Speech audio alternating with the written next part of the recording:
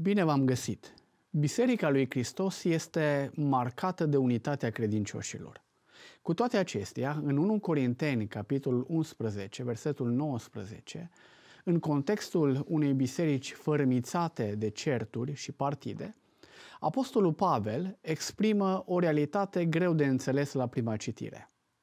El spune că trebuie să fie găsiți în cadrul corintenilor și partide pentru ca în cele din urmă să fie validați cei buni.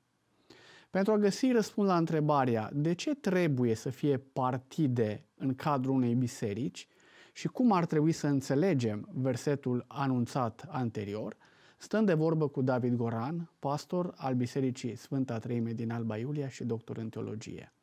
De ce spune Apostolul Pavel că între voi trebuie să existe partide?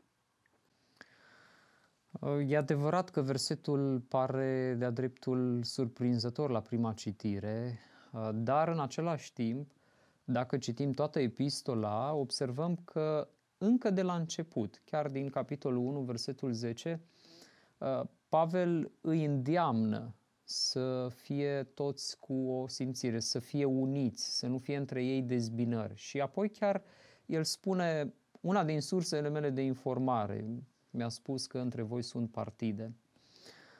Așadar, apoi la sfârșitul epistolei, din nou uh, găsim că Pavel îi îndeamnă la unitate. Și pare de-a dreptul șocant la prima vedere, având în vedere că a spus până acum ca ei să fie uniți, cum de ar valida Pavel uh, disensiunile sau diviziunile între ei.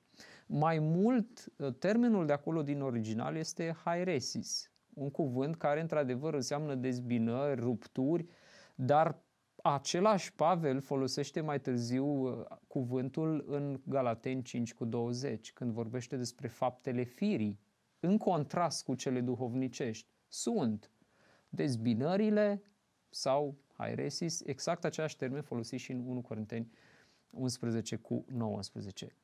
Uh, există două opțiuni mari pe care merg comentatorii în interpretarea acestui verset.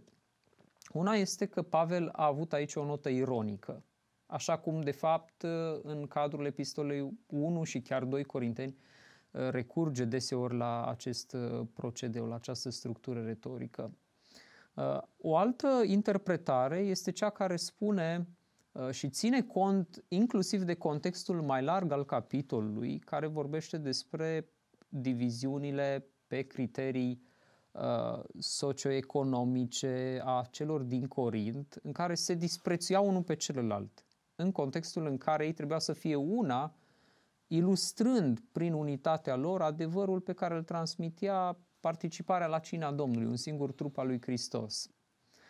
Practic, acest, această interpretare spune ceva de genul următor.